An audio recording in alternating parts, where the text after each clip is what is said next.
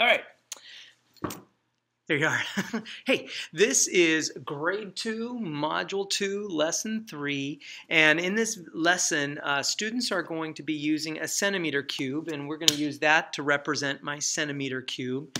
And they're going to use a piece of paper, probably tagboard or construction paper or some sort of recycled paper. It's go, go cheap. You don't have to spend a lot of money on this.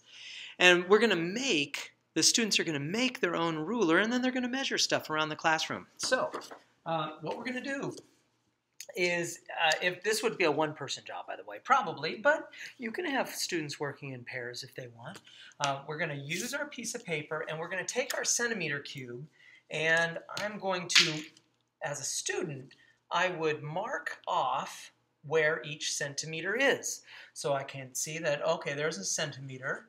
So I'm going to little, draw a little line, and then as a student, I'm going to move the centimeter cube to the end, right? And then mark it. And that's not entirely intuitive for these little second graders. So we're going to mark it and we're going to continue going here. And now this is kind of what they did in lesson two, where to measure an object, they would take that centimeter cube and drag it across the sandwich or whatever it is they were they were measuring. Well, here they're going to make their own ruler using a centimeter cube. And then, now this is our portable ruler. We no, no longer have to carry around a, a centimeter cube, right?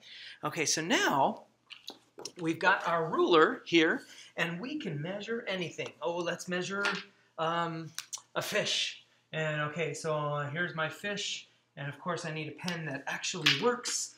And then, so here's my fish. Ooh, fish the eyeball and the mouth and the gill. All right, woo. Oh, uh, we should do a little fin and uh, another fin there. Okay, so there's my fish. I totally drew it, faked it. I have no idea how long this fish is. So the students are going to measure from tip to tip. All right, and so with the tip to tip, they're going to line up their ruler on the edge. Now, a lot of students will start at the first mark. Eh, That's not what we want because really we want to start on the edge.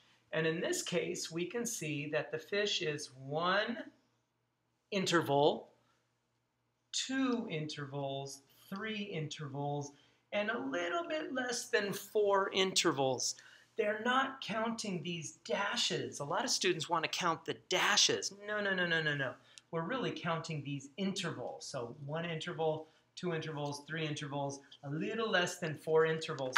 So in this case, I would probably say about four centimeters, all right?